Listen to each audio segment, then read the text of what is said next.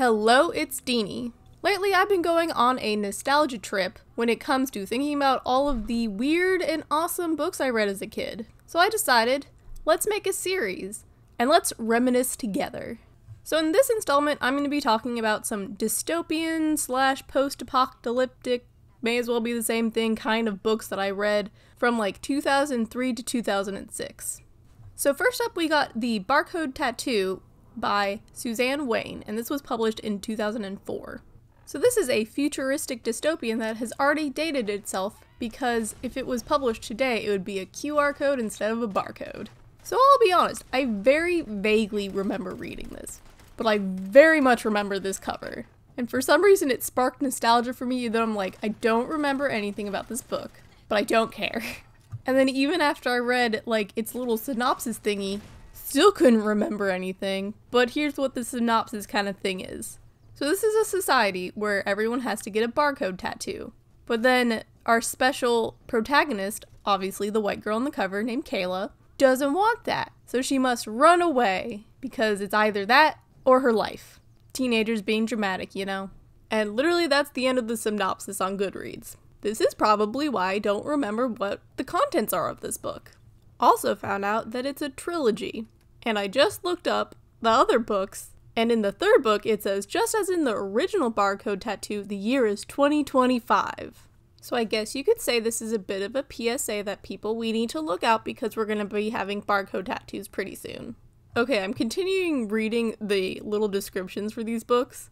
And the synopsis for the second book is literally the same as the first, and then the third book is thrown in a bunch of random stuff. Now I'm regretting not going through this trilogy. I was missing out. And this nostalgia trip just turned into me roasting a book. That was unexpected for me. And only the first book is available through my library ebook thing. Now I can't even finish it. I can't participate in this weirdness. I'm sad. I just wanted to soak up some nostalgia. But maybe I'll reread the first one. And then just be like, that that's fine, that's enough. But the next book I'm going to talk about, I actually remember a little bit more and I actually still own it, and that's Green Angel by Alice Hoffman, and it was published in 2003. It is also part of a trilogy that I never read the last two books of. I was not much of a completionist as a child. So in this book, the protagonist is a 15 year old girl named Green, and she's kind of left alone after her family dies in this like really bad disaster, and she's left in this kind of awful world where like nothing grows, and it's just all ash. So she retreats into her ruined garden and she starts like destroying her past self. And I believe she actually starts like tattooing herself as a way for her to be like, I'm no longer that past person. But then as she's going through this really dark time, she gets like these mysterious encounters where she has to relearn the lessons of love and then like kind of heal herself. I remember rereading this book often. It was only like 128 pages, so it is super short and since I still own it, I may reread it. However, I'm sad because my library doesn't have the second two of the trilogy, so I'll never get to finish it. At least not now. But the next book I'm going to talk about, I again own it, and it's a standalone. So if I decide to reread it, then I can actually fully enjoy the entire story. This book is Beautiful City of the Dead by Leander Watts, and it was published in 2006. And it sort of doesn't fit in this category of dystopia or post apocalyptic, but it's a really weird book and I didn't know where else to put it when I was making lists of all my nostalgia reads. So in this book, there is a band called Scorpio Bone and it is led by this dude named Relly. They have a guitarist, a kind of dim-witted drummer, if I remember right, and then this golden god of a singer, but they're missing a bassist.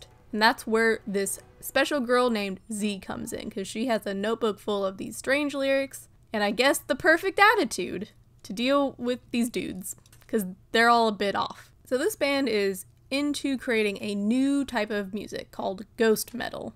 And they are a super passionate and emo group of teenagers. Here's a quote from the book. Now that we're together, the four of us, it's gonna start. The big time. The biggest thing you ever saw, Relly says. When we get cranking, the four of us, we can cross over to the other side, the other world. It takes four and no more. It takes four to win the war. Isn't isn't that just a beautiful quote? It takes four to win the war. Which sounds really weird because it's just like a band of people. And that's where you're wrong because they're not just a band of four teens, they're actually all gods. And immortal if they stay together. So that's where the actual stakes come in into this book because then they have to fight this other group of gods who are adults because they are also missing a bassist and then they're like, "Hey, young girl, please join our immortal group." And it's so weird. And saying that sentence out loud made me go, "Wow, this is what is this book?" Now I really want to reread it. Dang, am I going to reread this soon? I hope so.